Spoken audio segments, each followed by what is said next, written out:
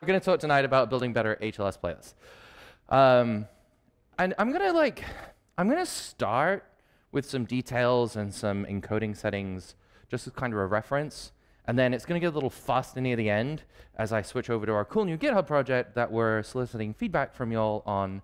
Um, and if you want to play around with it, that'd be so cool. So, okay, let me, let me start. Okay, we're building better place, but we're also being spec compliant. What do I mean by spec compliant? I mean like, we're not I'm not going to talk tonight about doing things like changing the resolution of your content in the middle of a single rendition. That's not entirely spec compliant. Um, I'm not going to talk about doing things like having vastly varying uh, bit rates in a single uh, uh, rendition. That's not entirely spec compliant. You can do it, and people are doing it. I just want to call that out. Um, it's just not what I'm talking about tonight. I'm going to try and tighten it down a little bit. Okay, so I'm going to use this example. It's an open source Netflix crosswalk video. And if you want to play along at home and try this out and, and do your own investigation, it's only five seconds long. That's great because a lot of the tools I'm using take forever to encode. So like, if you want to do this on like a five minute long video, you just need to like multiply everything by, I don't know, 30 times or something like that. Um, okay, cool. Um, and I pulled down the original Y4M that Netflix very kindly gave to the Xiph collection and turned it into something that's a little bit easy to work with. I turned it into 1080p 30 rather than uh, 4K 60. Okay, so let's take a look at it. It's crisp, it's HD. Look at the hair. Okay, cool.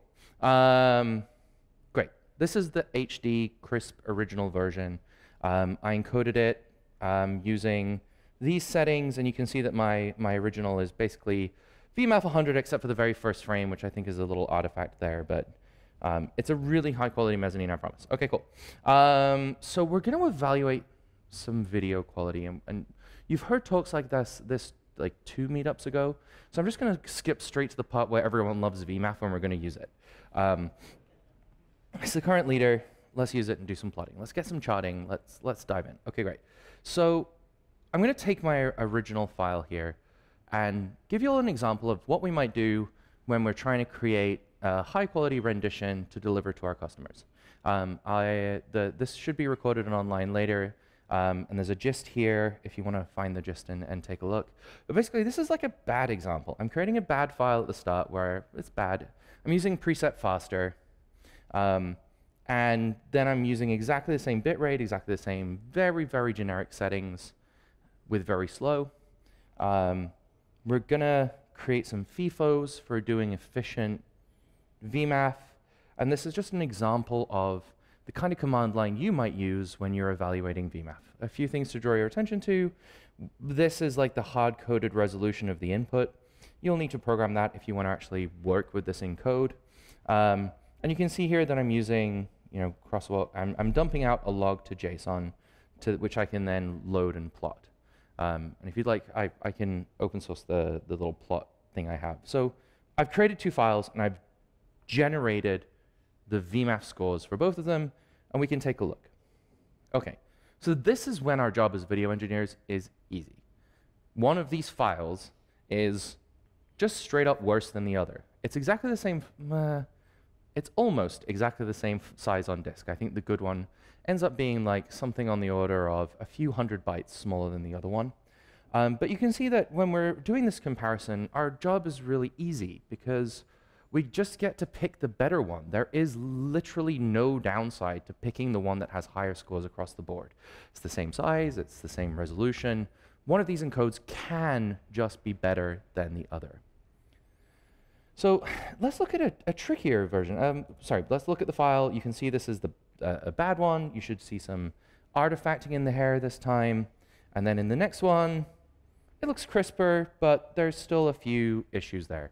You'll note, if we go back, that we didn't actually get above a VMAF score of 90, so you should still be able to see some artifacts in these videos. Okay, so we can do an objective comparison of encodes.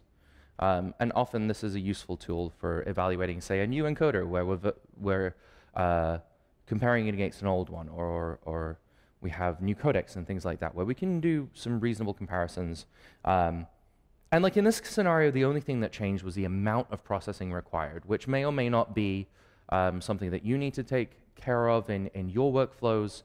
Um, but the end result is better or worse. But let's actually bring this down to the real world. When we're creating a new M3U8 manifest, how can we go about picking a good top rendition to deliver to our users. We have a 1080p input. We want to deliver a really good quality 1080p out to our users. And we probably don't want to deliver it at the 11 megabits per second that my encode turned out to be. That's probably going to be a waste of our users' bandwidth. So inherently, we're trying to do a dance between we don't want to deliver raw video, we want to deliver something that is encoded, and we want to deliver good quality. So now I'm going to make this a little more complicated. I'm going to keep the same settings for my good encode, and I'm going to create a better and a best. Um, and I'm just going to change the bit rate by 1.25 megabits per second each step. And you can see here I'm going to do the same exact dump of the actual qualities. And this time, things are going to get a little more tricky for us because our better is a lot better, but it uses 1.25 megabits more. And our best is a little bit better, but it uses, again, 1.25 megabits more. So how do we decide which one of these is actually better to deliver to our customers? Um, you can see here I've included the harmonic mean VMAF score in the bottom left. We can probably reason and say that 81.7 for a top rendition is probably not going to be enough bits, that our users are probably going to complain that the video doesn't look great for them. Um, but the difference at the high end between the 94 and the 98.9 might not be as noticeable. See if you can notice it. Here's one of them. And here's the next. Can you, did you see a difference? Can you see a difference? Does one of them look like it's worth spending an extra 1.5 or uh, 1.25 megabits per second to send down to your, your users? Um, hands up if you think it was the first one that was higher quality. Second one? Okay. Um, it, was the, it was the second one. It was an easy one. I just did them in order. Um, I'm not I'm not being that complicated. Um, but the point I'm trying to make with that is, in general, VMAF 94, 95-ish is probably going to be sufficient for our users to get a really good experience from us. So when we're delivering content, we actually need to make this, this decision, this balance between do we want to deliver extra bits and are they going to be worth it? Um, where we, we can deliver something that just flatlines at a VMAF 100 score if we're willing to sacrifice our users' bitrate. But there's a deeper question there, which is like, well, what, what bitrate are we targeting? Like, who's watching this content, right? So our better encode is most likely the best one for us to actually use in production here, but it is a bit of a judgment call. So how can we take these judgment calls and, and build more of a framework around them? how do we compare manifests, right? So I just talked about the top rendition. We can, we can try and make judgment calls. We can try and determine the top. But uh, comparing one or two encodes against each other is pretty, we just did that, right? We can, we can all work through the problem together. We can do some encoding. We can look at the results. We can try and reason about the trade-offs that our systems might make between the bit rates and the processing power that we're going to give and the VMAF targets we're going to give. We can reason about doing things like per title encoding to make our encoding even better. But how do we compare an entire manifest? How do we compare a set of decisions? How do we compare this to this? Okay, let me make it a little easy for you, right? i will call out the important bits. There's two manifests. They're both well-formed. And on the left, we have the first manifest. On the right, we have the second. And you can see that a few of the decisions we've made are a little different. Um, but the big one that you should jump out at you from this is we're missing the, the, the 1280 by 7, 674 or our, our 720p, uh, right, because this is not 16 by 9 content. We, we're missing the 720p. So surely the manifest on the left is better than the manifest on the right. Well, better how? What, is, what does better mean? What, what does that even mean in the context of delivering stuff to our users? Well, who's watching? Right? Like, what I haven't told you is, in comparing these two manifests, is, there, is everyone on mobile? Is everyone watching on in Europe and they have crazy great internet?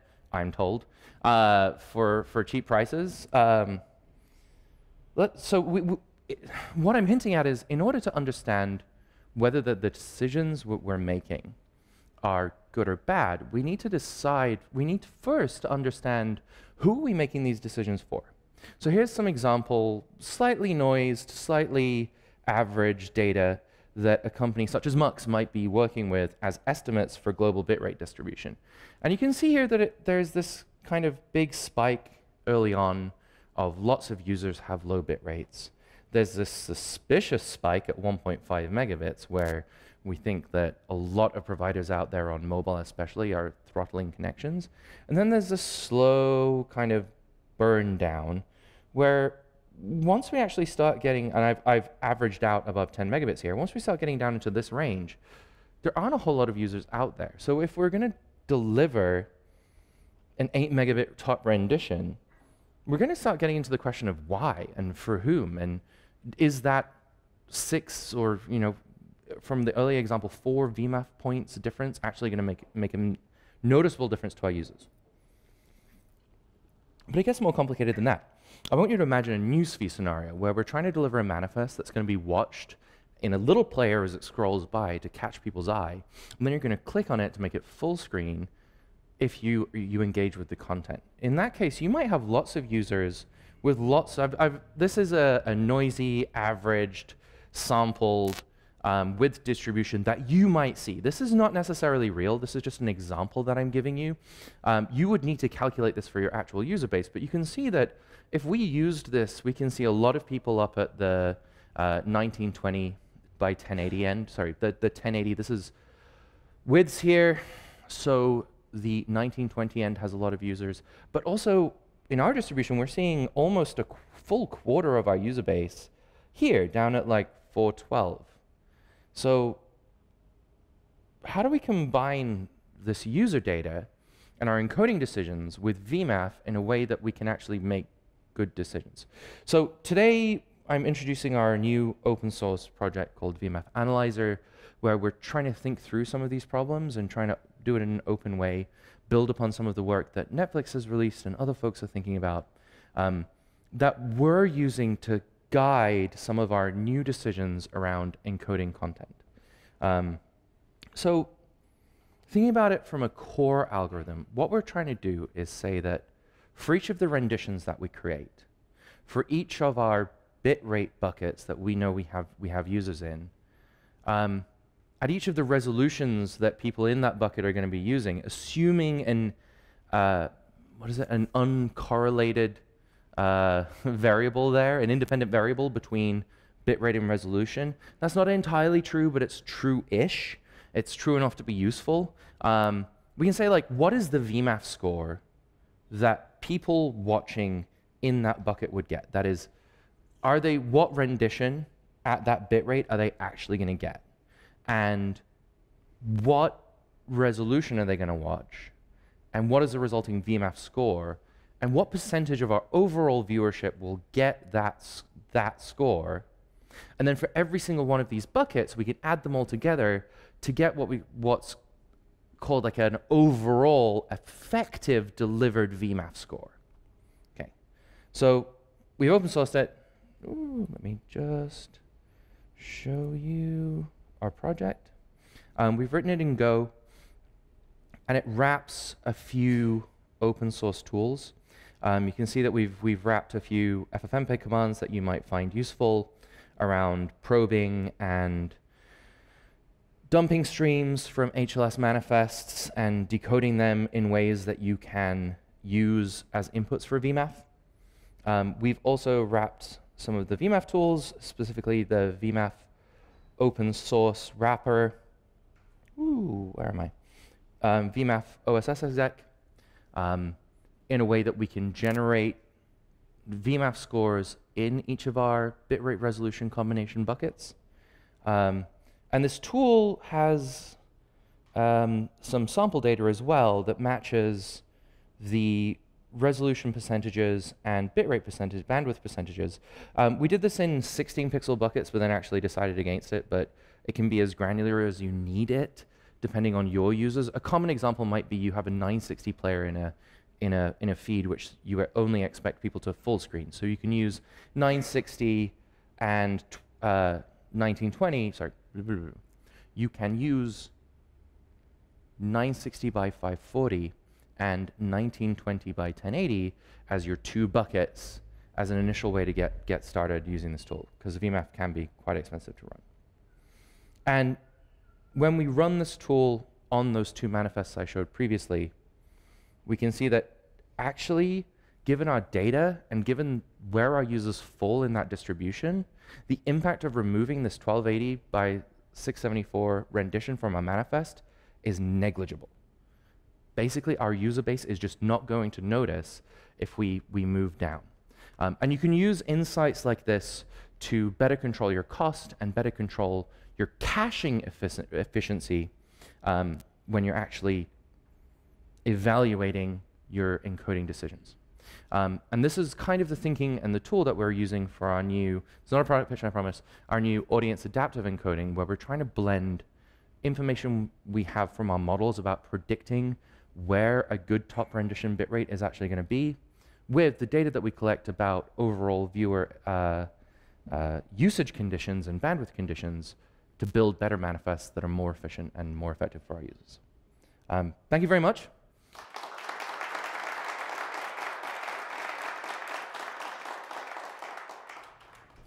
Uh, definitely that's something that our model doesn't account for right now, that note that that concept of a shift, but the shift isn't necessarily going to be as high. Um, if you look at the earlier example I gave, like the um, this one, there's already a big shift between uh, this. Uh, even in one megabit, there's a large shift. So it, we're, what we're trying to think through is how do we account for all of those variables in some kind of score, right? Like how do we actually quantify that notion of largest, largest shift um, alongside what the impact is on, on overall viewership? But yes, it's, it's an interesting point that we uh, don't currently account for. We assume right now, for our tool's sake, an original resolution of 1080p and that we will have uh, a master a, a reference that is 1080p.